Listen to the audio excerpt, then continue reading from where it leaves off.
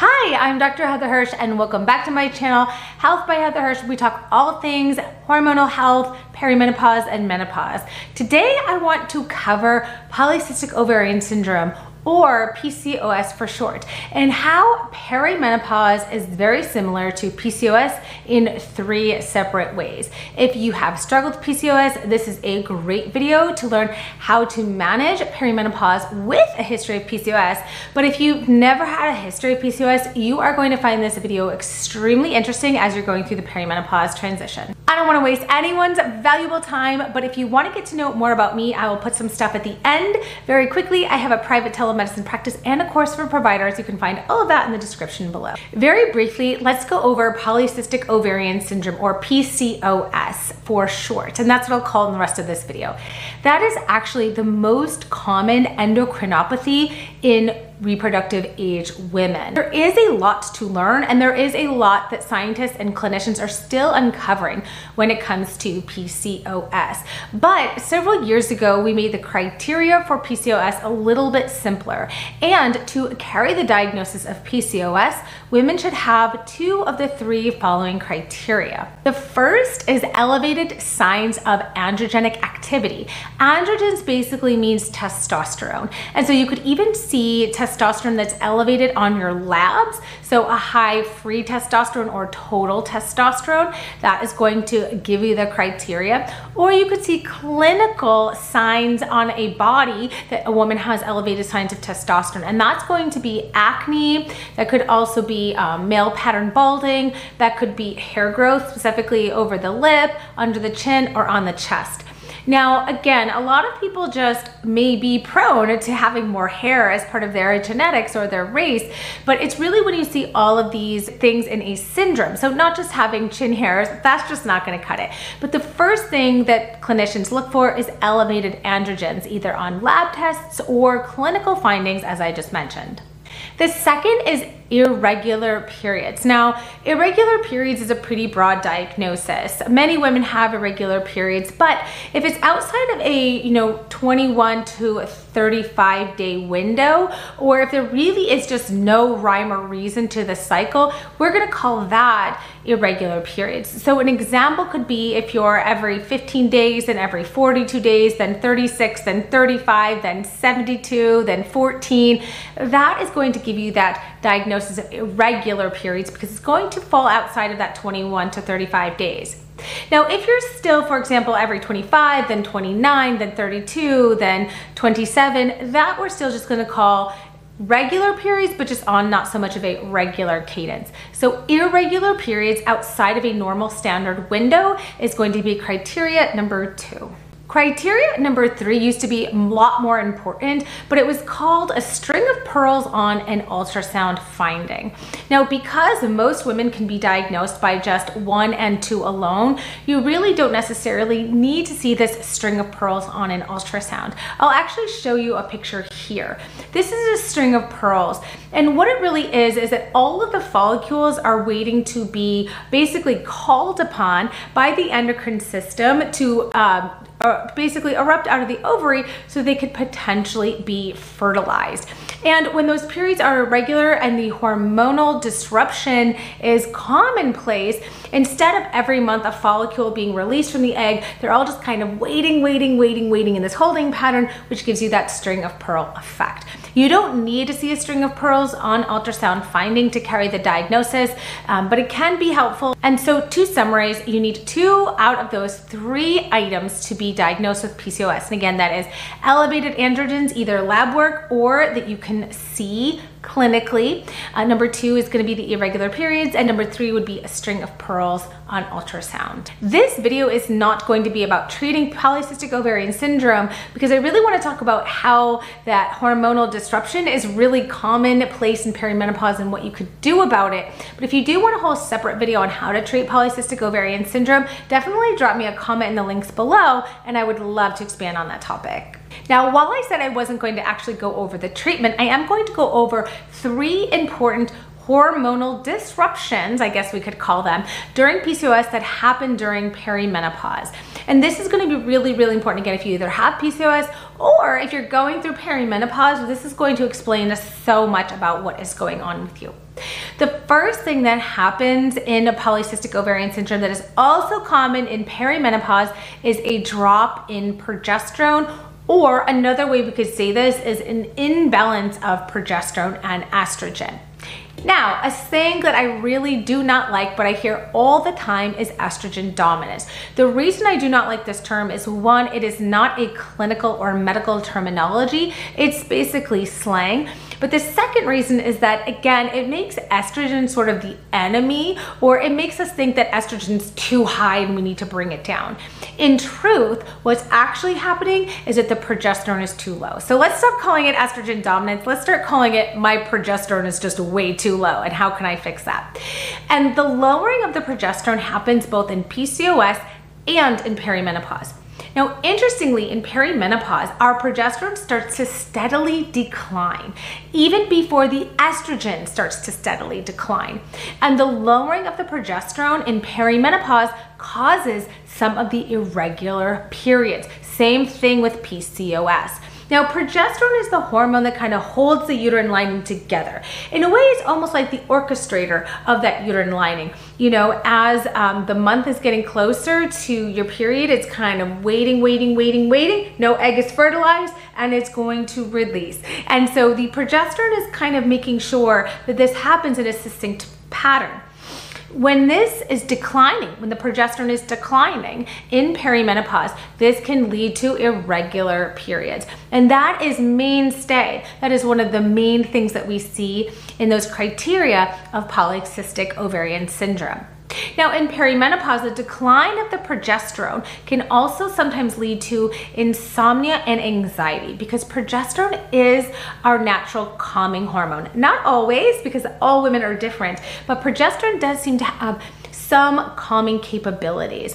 In fact, prometrium, which is a treatment that we often use for low progesterone in perimenopause or sometimes in PCOS, acts on the GABA receptors in our brain, which causes us to kind of have this nice, sedating, relaxing feeling. It can help as well with those symptoms of anxiety and insomnia, and it can also help to create or set establish a pattern of more regular bleeding. And so both of those things are true in PCOS and perimenopause. The progesterone is declining more steadily than the other hormones.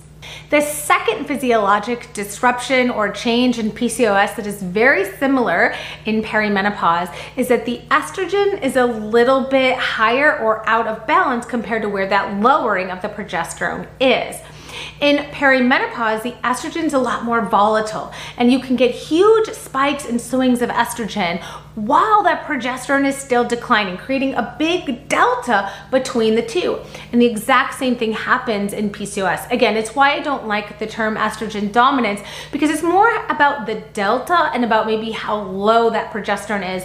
It is not so much that estrogen itself is the problem. Estrogen certainly gets blamed for a lot of things. In perimenopause, that estrogen is really volatile. That's why women can get things like breast tenderness out of nowhere. That's why perimenopause can feel like a puberty in reverse. You can feel tearful one day, then angry, then sad, uh, and then have your period and feel better. It's because of that volatility in estrogen. And again, that happens as well in PCOS. So treatment could be, again, potentially bringing up that progesterone, closing those delta gaps. So a lot of times in perimenopause and PCOS, we're prescribing a progesterone. That can really help. In perimenopause, we sometimes also prescribe postmenopausal estrogen in the form of a pill or a patch, a gel or a spray. And that actually helps to buffer the highs and lows of the estrogen. And in fact, that's actually what's happening in PCOS. Many women are treated with birth control pills, for example. And what that's doing is giving the patient a steady daily dose of both an estrogen and a progesterone because a birth control pill cannot exist without the progesterone. And it really just steadies those levels, right? So it's not that we are trying to give you an anti-estrogen, we're trying to steady the estrogen volatility. That is going to help specifically with major mood swings, breast tenderness, terrible PMS. Uh, it's really going to help offset some of those highs And then also in perimenopause, those lows. So while there's also volatility in estrogen, estrogen can also actually plummet and be really low, particularly in late perimenopause. In fact, I have a great video here on the difference between early and late perimenopause if you're really in the perimenopausal trenches. But specifically if your period starts spacing out to every two months, three months, six months, not only are you getting the volatility at times, but you're actually getting more low estrogen states. So you may be getting hot flashes, night sweats, um, dry skin, dry hair, dry nails, vaginal dryness. And so the postmenopausal estrogen, not only could it buffer the volatility in the highs, but also help with when estrogen is low. So that is where PCOS is again similar to perimenopause. Now, the third thing that happens in PCOS doesn't always happen in perimenopause, but I have a sinking suspicion that it does, but it hasn't been well documented. Now, if we go back to PCOS, remember there's a big delta between the estrogen and the progesterone. So there's low progesterone, which makes the estrogen seem as though it's higher. And the third metabolic derangement that comes out of that is you can get a spike in testosterone. And so that's why in those PCOS criteria, the first thing we talked about was elevated androgens or elevated testosterone levels. Now, the, this also seems to happen to women in perimenopause. Now, you might be saying, wait a second, you mean to tell me that my testosterone's high? A lot of women actually find that their testosterone is low, but I think this might be short-lived. Now, high testosterone can be sometimes high libido. So sometimes women might notice this very sporadically. And I think that in perimenopause, at the beginning of perimenopause, maybe early perimenopause, some women will tell me they had a really good libido in their late 30s or their early 40s and all of a sudden it crashed. And that could be because after that spike in testosterone, it actually does start to decline naturally into the menopause transition. Elevated testosterone can also be a reason why women in perimenopause may all of a sudden be getting acne. And you're thinking, how am I getting acne in my you know, late 30s or early 40s? And it really could be because of this physiologic PCOS that is happening to you while you're going through the perimenopause transition. So I do sometimes see that there is spikes in um, libido, there is spikes in sexual desire, there may be other signs of elevated androgens like you're shaving more all of a sudden, you've got hair on your chin or hair under your lip, you've got acne, those could be spikes in the testosterone because again, what's happening in perimenopause similar to PCOS, is the progesterone is steadily declining and the estrogen is becoming more volatile. Now there, those are the three things that can happen in PCOS that are similar to perimenopause. What does this mean if you do have PCOS? Well, truthfully, a little bit more of the same. And if you've been treating your PCOS well with either a progesterone, an estrogen stabilizer, something to maybe bring down testosterone, you're actually probably going to do well through the perimenopause transition. If your PCOS has been unmanaged, it's really good time to take stock and maybe managing the PCOS um, through the perimenopause transition. Now, I told you at the end of the video I was gonna tell you more about myself, so before I do, I hope that you found this video really interesting and helpful.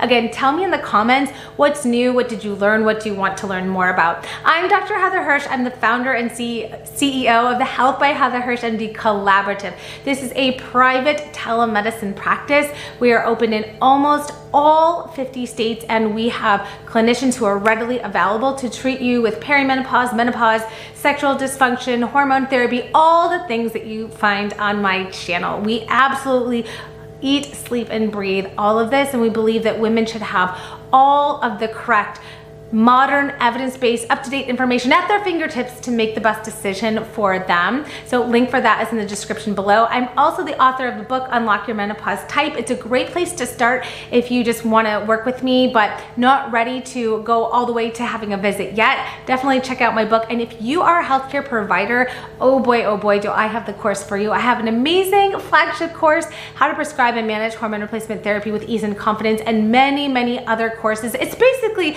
everything that you wish you learned in med school and residency that you didn't get to learn. And it is for uh, clinicians, nurse practitioners, um, physician's assistants, as well as a pharmacist. Thank you guys so much for watching. I hope that you love these videos. Please consider subscribing so that you never miss a video. And I can't wait to see you guys in next week's video. Bye everyone.